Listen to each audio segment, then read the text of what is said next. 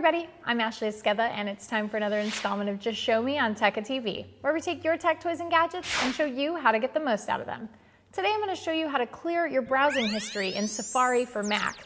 Now, clearing out your browsing history is a great tool in your arsenal to keep yourself safe while you surf the internet. Not only does it clear out your private data, it also clears out some disk space, making it a great thing to do periodically. Let's check it out.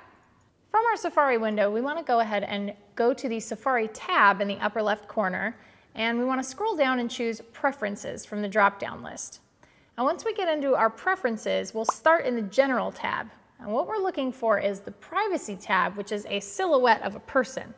So choose the Privacy tab, and you'll see the very first option says Remove all website data. So we can click on that, and it will actually ask you to confirm that you'd like to remove the data stored by websites on your computer.